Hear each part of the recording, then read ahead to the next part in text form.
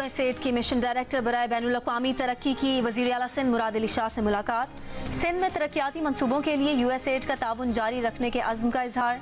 जिना post graduate centre का भी दौरा, नौमलूद बच्चों और माओ की देखभाल के लिए फराहम करदा सहूलियात का जायजा लिया। इदारे की स्कॉलरशिप हासिल करने वाली ग्रेजुएट्स खातन से भी मुलाकात।